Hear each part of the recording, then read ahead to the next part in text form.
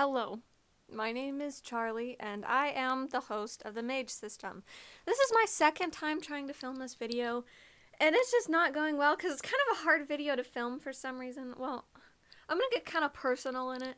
Uh, so I've just gone with the strategy of just chilling the hell out and not trying to be so technical with how I talk about this. So sorry if it's boring, but I'm just going to talk in whatever direction I want to talk in. Um, I told y'all at some point or another that I was going to college right now, and I'm gonna get a doctorate in psychology one day. I'm gonna be a big man, uh, but I never told y'all why. Uh, I'd like to do research, honestly. There's a lot we need to do research on, especially in trauma and dissociation. But within that, uh, there's a lot about DID that it's insane that we've not researched to me.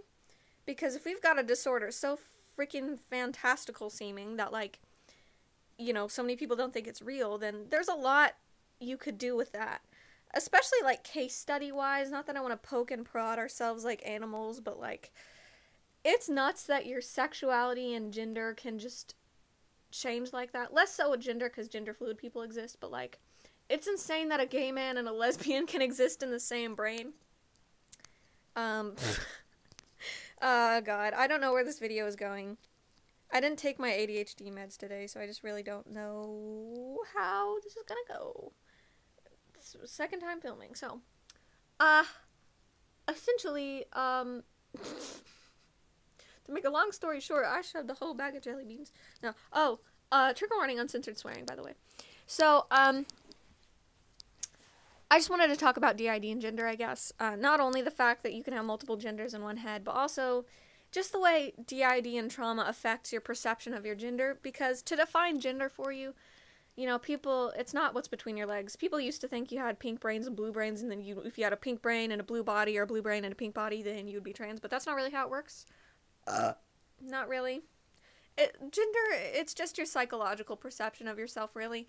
People really want to know so bad why people are trans, but recently I've kind of thought about it and I've thought maybe it's just not that fucking complicated. Like, maybe it's literally just that your perception of yourself is different from your body. And that just fucking happens sometimes. Like, why is there gotta be a huge, like, chemical answer here? Like, why does that have to be so biological, you know?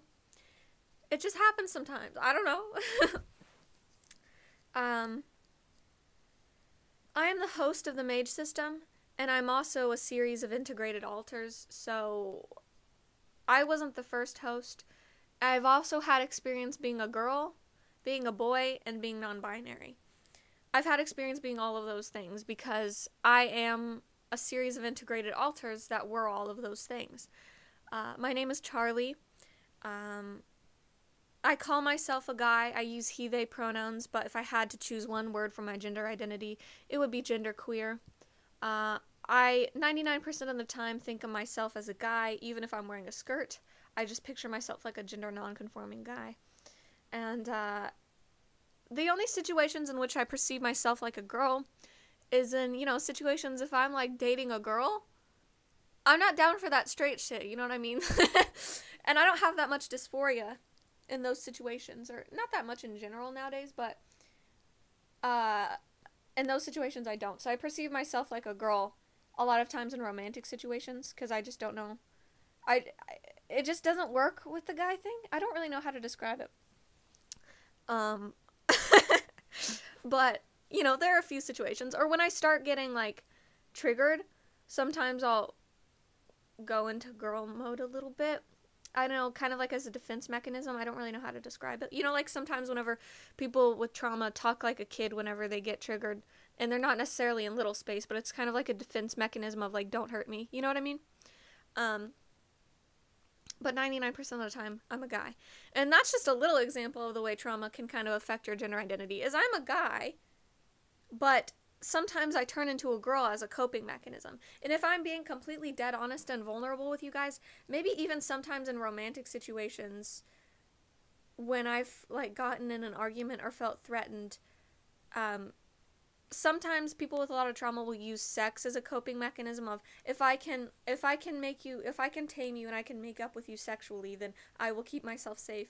Which I never I don't think I ever had that, but maybe sometimes the girl thing can be kind of like that too of like I'm just a girl, you know? And the kind of stereotype of that aside, you know, like that's something you learn as a kid kind of if you feel threatened. But uh I wanted to talk about it. I've had a lot of integrations over the years, but the there's a couple that actually changed my gender identity. So, originally the base me, the first one, I guess, that was around that integrated was before integration. The first one was L, spelled E L E. She was a girl. She was a she, her. Uh, she was around in like teenagerhood. I don't know if she was the first host. I don't think so, but I can't remember for the life of me. Like, if I think back to my childhood, none of it feels like me, to be honest. And I don't know. I just don't know. And I'm just so tired of thinking about it. But, um, Elle was a girl. And I'm going to get pretty personal with you here and not talk about just the way trauma affects your gender, but you know, the way trauma affects your perception of your body. And it's kind of hard to talk about, but I got to talk about it because it's interesting and it's important. And I don't mind, I guess, but I have coffee here for grounding, so.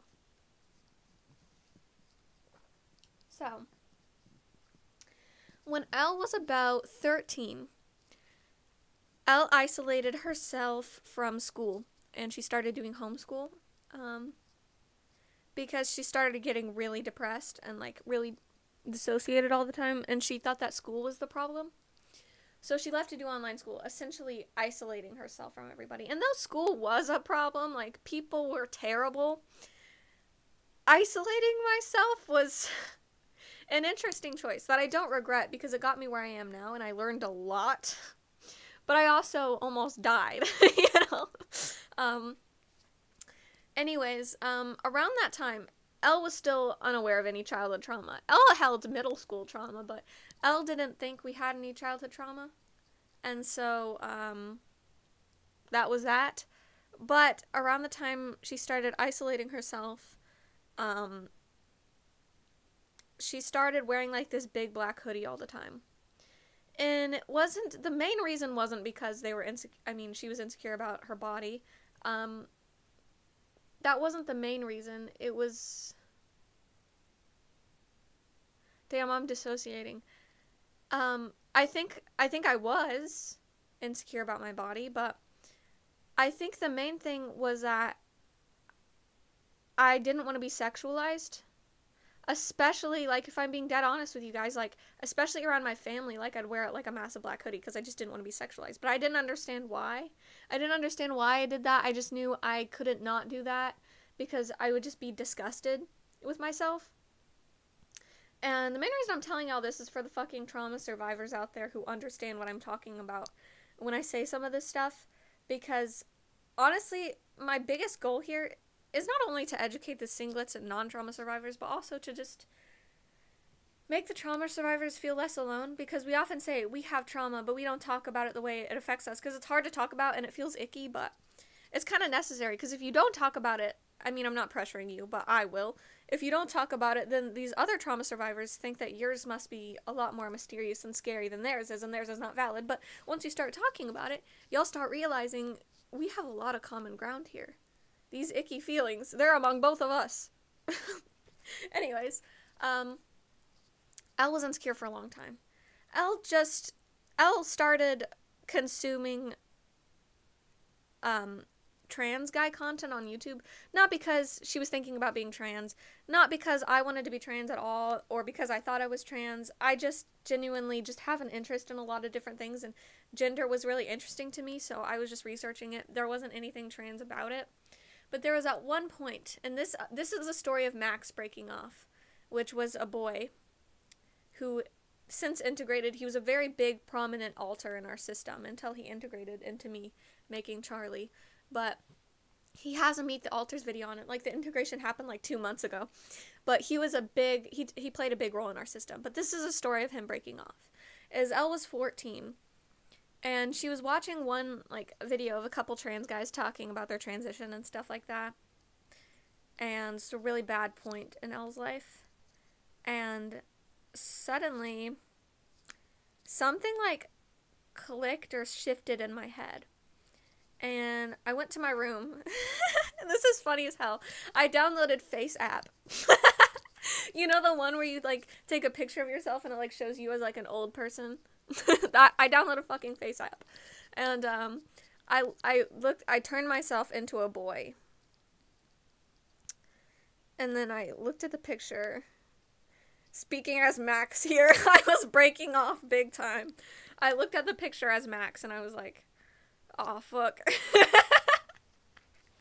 I was like, "God damn. I think I'm a boy." and then I remember crying as Max, crying like a little fucking baby because I was like, "Shit, I'm a boy." And real talk here, talking as Elle and Max at the same time, why did my subconscious do this? Why did my brain do this? Because I was wanting to cover up my body and I wasn't allowed to know about why. I wasn't allowed to know about why I was doing that as a coping mechanism because then I know about the sexual trauma. And I knew about the sexual trauma, but I just completely never thought about it and never thought it was anything and just thought, oh, like that little fucking embarrassing thing. Like, we don't talk about that. like, I just hadn't thought about it in years. But it stays under the surface and it creeps in and it fucks shit up, you know? and you don't realize until later when everything's already fucked up. Um, but I didn't know why I was doing that, and I think my brain was consuming this trans guy content, and my subconscious was like, "Hey yo, I got an idea. If we, she doesn't know why she's doing this, but if we could make this more bite-sized, if L were only a guy, this would be so much easier. You know, you wouldn't have to approach these social situations with a fear of being sexualized. And this would all make so much more sense to you.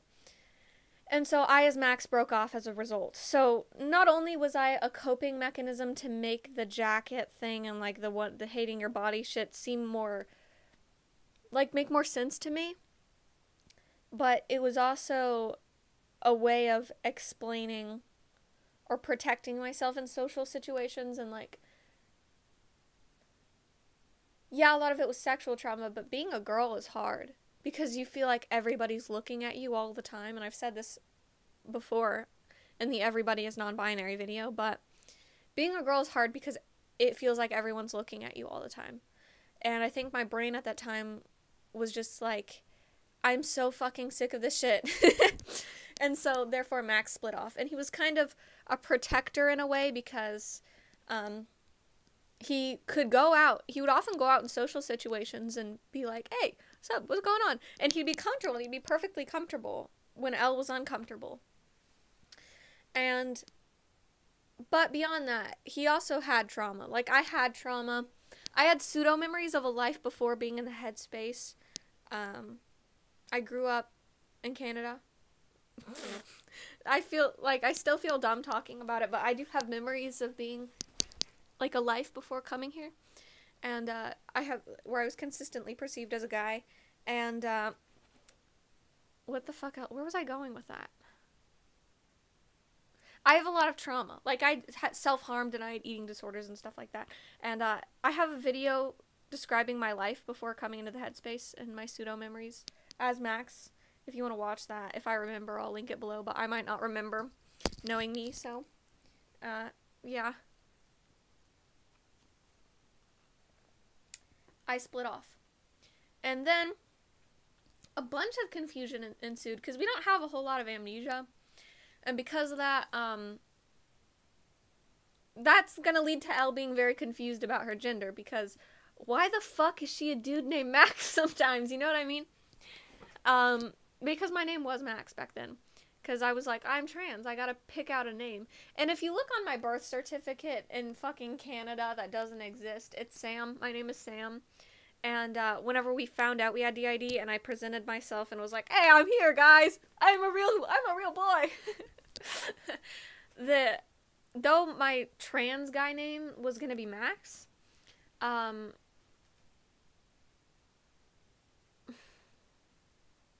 brain work um, they, it just Sam just kept slipping out of people's mouths. It was like that was meant to be my name.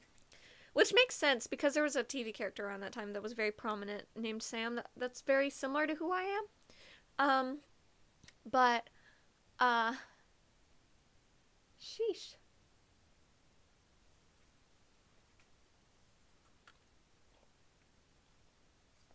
Sorry if this is boring, by the way. Anyways, um, so that caused a bunch of confusion. And then around the time Elle was 15, still very isolated, um, a lot of Elle's freedom was taken away. And as a coping mechanism, the brain split off another alter. And this alter was called Nico.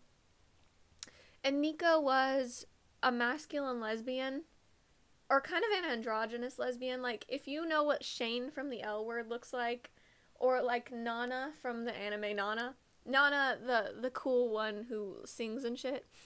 Um, that's kind of the vibe that Nico had. Like she was this kind of like deadpan space cadet, like masculine, like she was cool, right? Um, and very gay, and she was a pretty sexual person too. Um, she split off and she was kind of protectorish, but she was also very angry. She never projected that anger on other people, and if she did, it was very sarcastic and deadpan. But she would she would listen to a lot of metal music and she would make music like that too. And uh her and Elle actually were like kind of co-hosting around that time because they were really similar. Not really similar, but they just I don't know, they just worked well together. But um Nico split off. And then I'll tell you the story of Elle and Nico's integration because this is where the real party starts and this is where my gender identity starts getting really fuzzy. So, Nico integrated the first time I ever had a romantic kiss with somebody when I was fucking 14. Or no, I was 15. When I was 15, the first time I ever kissed a girl in a romantic way and not just a, ah, let's do this kind of way, you know. Um, it was an insane experience. First of all, I I liked it at the time, uh, and uh, but that night I could tell something had changed, and I had figured out I had DID then. I knew there was something up now, and uh, when I woke up the next morning, I was like, hey, I think Nico's gone, and then Nico integrated thus creating a new alter. That alter was called L, spelt just the letter L, and I've been using L with the word she this whole time, so I might slip up, but L's gender identity changed. L began to identify as non binary. But a lot of things happened when Nico integrated. Number one being that L became a whole lot more, like, a lot of L's anxiety went away, and L became a whole lot more impulsive. And it was almost like it was almost like I didn't even have to think about it. I was just like, oh yeah, I'm not a girl anymore. Even though I still dressed like a girl and all that, I was just like, I didn't even like think about it. Like usually, like if Elle were, were, before integration were to have a crisis like that, she would be really having a crisis. But once Nico integrated, I was just like, I do whatever the fuck I want. I ain't even a girl, dude. so um, yeah, I started identifying as non-binary and uh, there was almost some kind of fluidity to it because I would dress like a boy sometimes and dress like a girl sometimes. Um, I became a lot more goth. Um, I was really struggling around the time Nico integrated with my eating disorder, and so it's hard to really pinpoint a lot of how I thought about stuff during that time because my brain was just a pit of starving static and uh, I honestly can't remember a lot from that time because I was just so malnourished, but um should I have trigger warned that? I'm sorry if I should have. But um anyways, fast forward to when Max integrated a couple months ago. I started identifying as a guy after that happened. Which if you want to know how that happened, I've already explained it like a few times, but um you can hear about it in the Meet the Alters Charlie video and the Max's last words before fusion video or the My Alter Fusion video. Anyways, who cares? I feel annoying right now. Anyways, um it's been a couple months ago, but it's like the integration is still settling in. It's like my identity becomes more cohesive by the day and my experience of my gender becomes more cohesive by the day.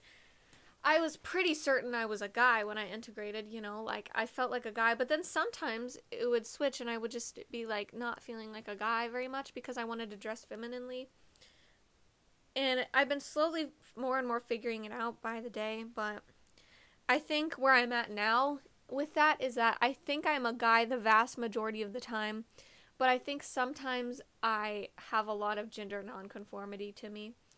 And um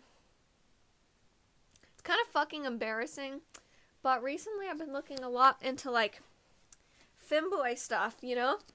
Cuz it's kind of cool to me it's kind of cool and it's kind of freeing because I thought like if I'm dressing in these skirts and stuff, then how the fuck am I supposed to still view myself as a guy, in a way? And I think I realized, wait a second, I can just be a boy in a skirt, kind of nuts, right? And uh, but the thing about it that's hard for me, where trauma kind of comes in and messes with it, is because though I do really love femboy culture, it is so closely and affiliate like really closely linked with sexual stuff and like sexualizing feminine boys.